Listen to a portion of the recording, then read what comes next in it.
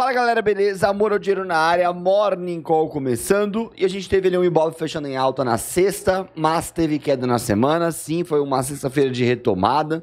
E a semana passada completou então mais uma semana de queda no nosso mercado. Uh, e só queda esse ano, né? Por enquanto aí. Candle semanal aqui, o que, que eu fiz ali atrás? Candle semanal aí, dois candles de queda, tá? Então tivemos duas semanas de pregão por hora. Hoje, dia 15, terceira semana se inicia, tá? E nosso candle semanal da semana passada tocou lá naqueles lindos 130 mil pontos, que veio na quinta-feira. E sexta-feira, então, um pouco de reação que poderia ter dado um pouco mais de animado aí. Chegou longe, só não manteve, tá? Quando a gente olha o gráfico de 240 minutos aqui, ó, a gente pegar lá os 5 de janeiro, fica mais fácil de olhar, a gente praticamente positivou, né? Ficou quase num 0 a 0 ali na sexta-feira e entregamos, infelizmente, os ganhos, tá? Mas aparentemente temos boas notícias. Ó, Pão de Açúcar e Magalu subiram na sexta-feira, né? Foi um bom dia para varejistas, né? Em sua grande maioria. Vale recua, a gente vai falar um pouquinho de Vale daqui a pouco. Bom dia, boa tarde, boa noite. Deixa o like, se inscreva, comente, compartilhe vire membro do canal. Se você ainda não virou, semana que vem, ó, dia 23, teremos a próxima consultoria de membros. E essa semana ainda vou abrir os pedidos, tá? Vamos lá, ó. Tempo real Ibov pode buscar alta nesta segunda-feira. Começa a semana com a atenção do mercado internacional voltada para a divulgação do livro bege do Fed, né, justamente que apresenta o cenário econômico dos 12 distritos do Banco Central americano, poderá ditar o futuro da taxa de juros, no caso americana e por aqui também, né? Afinal vai influenciar diretamente a nossa taxa de juros, tá? No cenário nacional, como costume na segunda, os investidores acordam no aguardo do relatório Focus, né? Medido pelo Banco Central, mas que tem um peso muito menor, né? Relatório Focus não é uma paulada semanal no mercado, né? Agora o livro bege pode ser uma pauladinha, tá? Na sexta-feira o Ibov reverteu, eles falam um pouquinho sobre isso, porém, olha lá, a semana começa com o Ibov sozinho e obviamente baixa liquidez. Então, movimentos de hoje terão que ser colocados para prova, para teste, né? No dia de amanhã, né? Opera sem Wall Street para seguir de reféns nesta segunda-feira. As bolsas de Nova York estão fechadas devido ao feriado de Martin Luther King Jr. A tendência é de que a liquidez das negociações seja ligeiramente mais baixa do que normalmente. É, geralmente sempre, né? Quase uma regra, né? A semana passada a Bolsa Brasileira registrou perdas de 0,78. O Ibov reverteu a sequência ali na sexta-feira, né? Mas tudo isso tranquilinho aí agora esperando o livro bege. Talvez uma segunda-feira que aponte uma retomada, né? Afinal, se tivermos um, um recomeço na segunda-feira, né, hoje, de repente amanhã uma confirmação desse movimento já engata uma boa alta, tá? Além disso, o mercado financeiro está de olho no Fórum Econômico Mundial, em Davos, na Suíça, que começa hoje também, e as guerras na Ucrânia e Oriente Médio estão entre os temas que serão debatidos no evento, assim como o comércio global e crises nas cadeias de abastecimento, tá bom? Vamos lá. Gol 4 cogita pedir recuperação judicial nos Estados Unidos. Diz coluna, né? Está cogitando perder recuperação judicial nos Estados Unidos em no máximo um mês, segundo informações da coluna painel SA da Folha de São Paulo, né? Segundo a publicação, pessoas que participam das conversas afirmam que aderiram ao capítulo 11 da lei norte-americana, que é basicamente a lei de recuperação judicial só que americana, de falências, né? É mais vantajoso do que pedir recuperação judicial no Brasil, acrescentando que lá as regras são previsíveis. Além disso, abriram-se, por exemplo, mais uh, ab abrirão-se, né? Billions, mas está escrito aqui, enfim, né?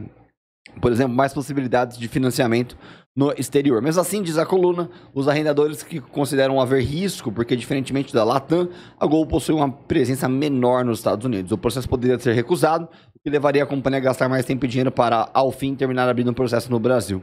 A Folha apontou ainda que vários consultores e advogados foram contratados, a Abra Holding, que é fruto da junção é, com a colombiana Avianca, que controla a Gol, contratou o escritório Pinheiros é, Guimarães Advogados. Já a Gol conta com a assessoria do Milbank, Lefosse e TWK, além da Seabird Capital contratada no fim do ano passado. Ou seja, tá negócio complicado pra Gol aí, né? E é o que eu sempre falo aqui no canal, né? Eu prefiro uma Azul 4. Aéreas, né, galera? Daqui a pouco, dá, escrevam o que eu estou falando, tá? Daqui a pouco começam os papagaios aí, os repetidores aí de maluquices a falar, ah, tá vendo? Aérea, companhia aérea, não presta, blá blá blá, né? Ah, complicado. Enfim, não vou nem extrapolar o assunto aí porque não vale a pena, né? Ó, Selic, Bradesco Asset revisa a previsão da taxa de juros para o fim do ano. Não mudou a taxa, tá? Vai ser 8,5 ali, que é o que eles uh, preveem, né? Mas eles acham aí que vai chegar um pouco mais cedo, né? Em novembro, quando espera o ciclo será fechado ali pelo Banco Central. Uh, e também por causa da, da, da queda do Fed, tá? Então é só isso que rolou.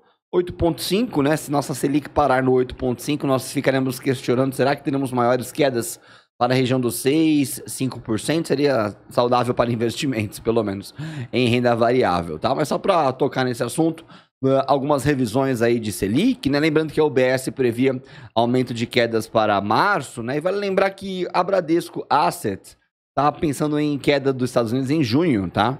Uh, tem gente que fala que é em março, então vamos observar os próximos meses, tá? VEG, analistas veem valorização das ações, mas divergem sobre o lucro da empresa em 2024. Coloquei essa matéria aqui para falarmos um pouco mais de VEG lá na área de membros daqui a pouco. Porque VEG, né, galera, sempre rodando as notícias de é, mídia de, de mercado financeiro, né? Essa galera sempre empurra a VEG no querido acionista que tá perdido ali. E aí ele lê por aí, ele vai lá e compra e compra no topo, geralmente. VEG é uma das campeãs de serem recomendadas no topo de seus movimentos. Então a gente vai falar um pouquinho de VEG e o que fazer aí com essas ações. Uh, com essa ação, no caso, né? Uh, no Morning Call de membros daqui a pouco, tá? E eles colocam o pessoal de 38,50, BTG fala 50 reais, uma divergência bem forte aí, né? mas a gente vai falar um pouquinho sobre isso sem esse foco aqui deles, tá? BlackRock amplia lucro no quarto TRI de 2023 e anuncia a compra da gestora de private equity GIP por 12,5 bi de dólares, né? Divulgou que teve um lucro líquido de 1,38 bilhão de dólares no quarto TRI, alta de 9% ante o mesmo período do ano anterior. E aí o lucro por ação entre outubro e dezembro, né, do quarto trimestre, então, foi de 9,66 dólares. acima do consenso da FactSet de 8,74 dólares. Foi bem acima, né? Além disso, a gestora anunciou essa compra na sexta-feira e é a BlackRock dominando o mundo. Black 34, acho que eu nunca nem olhei esse ativo na minha vida. Vamos dar uma olhada, tá?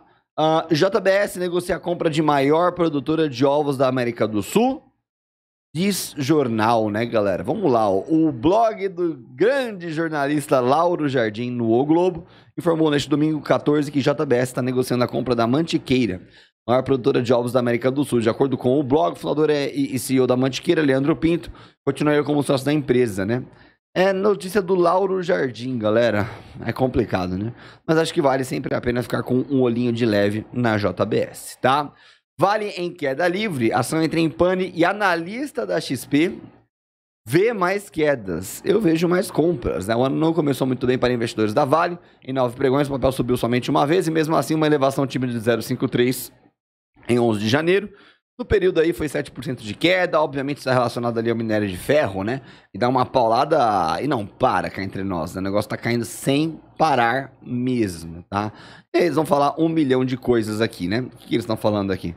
6988, enfim, tá? Galera, vale é aquele ativo tranquilo que você vai comprando a longo prazo, sem muita ansiedade, né? Não é duas semanas de janeiro que deveriam mudar sua tese de compra sobre Vale. Sim ampliar, de repente, uma visão de oportunidades na ação, tá bom? Até logo, Bradesco, as 10 ações da Terra Investimentos para superar, superar o Ibov em janeiro, hein? Olha a corrida maluca aí, né? Ó, lojas Renner Vale, de GBR Eletrobras, Hype 3, 3R Petróleo, Rent 3, Cirela, B3 SA3 e CCRO. Uma carteira diferentona, eu diria, tá? Enfim, uh, cuidado, galera, com o tchau Bradesco, viu? É você vê um falar que Vale vai cair mais, o outro fala que tchau Bradesco, e daí a Vale tá aqui. Cuidado, galera. Enfim, tá? Eu mantenho o Bradesco tranquilamente porque você não deveria incluir Bradesco e outros ativos aqui dessa lista, por exemplo, para uma compra mensal, né? Para tentar bater o Ibov só em um mês. Pelo amor de Deus, cara. Isso é o oposto do investimento, tá? E lá na área de membros, vamos dar uma olhadinha aqui na radar da Infomani e comentar tete a tete, beleza? Vire membro, suporte o canal, bastante conteúdo exclusivo. Deixa o like, se inscreva, comente, compartilhe. Bom dia.